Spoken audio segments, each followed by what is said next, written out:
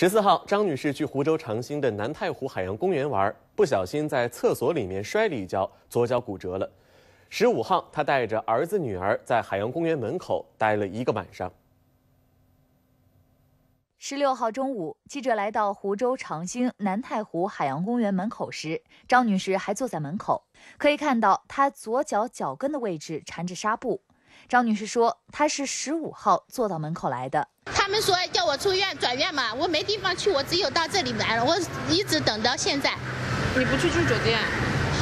我两千块钱已经交到医院。我是一个外地的游客，我带着一个三岁的孩子，一个十三岁。”张女士说：“他们一家子十四号中午到海洋公园来玩，现在老公已经提前回去处理事情，自己带着儿子和女儿。我们也没吃的，也没住的，就在这里。对我一直坐到现在。孩子住哪？孩子就在这里躺了一下，抱到我怀里坐了一个晚上。事情还要从十四号那次摔跤说起。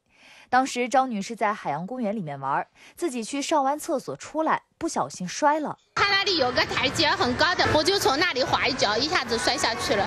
这个这个膝盖这里这个着地，这个脚一下子崴下去，这个骨折掉了。当他应该是在这个位置，这个坑位，然后出来的时候，呃。第一个台阶他看到，第二个台阶他踩了个空。嗯啊，他当时手机拿在手上，但是我们不知道他是是不是玩手机还是什么的，这个我们就不清楚了。他跟我们讲的，嗯，地上有水吗？没有水，很干的。有没有脚踩空？呃，我脚没有踩空。手里有没有拿水的？没有。湖州南太湖海洋公园这个厕所的台阶高度大概在十三点五厘米左右。陆经理说，小心台阶是后来贴上去的。事情发生后，他们第一时间就赶了过来，给张女士做了应急措施，并叫了幺二零，把张女士送去医院。医院检查出来左外脚边骨折，医生的建议是不用住院，回家休养就行。张女士说，十五号他们去派出所协调过，她不同意协调方案，了变掉了，让我什么内容啊？呃，好像说这个责任是我的，是我。的原因造成的，呃，他们没责任，是不是？当时摔倒是他们的责任？不是，责任，他也有责任。现在呢，我的意思是说，比方说，呃，医疗费呢，或者我出，或者他出，都好商量，而不是说你给我三千块钱解决掉。我的护工费让他给我请人的费用，他来承担。就是你们，我我们我们垫付给他们三千块钱嘛，这不是结款啊，他们是同路人，先回去治疗，治疗以后呢，呃，跟她老公约定能不能就是。我们以大概以三个月为期嘛，伤筋动骨一百天嘛，三个月为期。你到九月十五号、十月十五号啊，把当地医院的诊断报告给我们一下，然后你们负责把所有的单据凭证全部都保管好，因为到时候我们是走走保险流程的嘛，这个很正常嘛。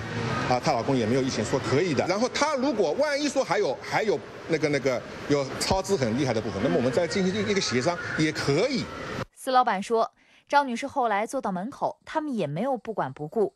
她去超市给张女士买了吃的东西，后来也提出给张女士他们订个房间，但张女士没同意。经过沟通，张女士同意再去派出所调解一次。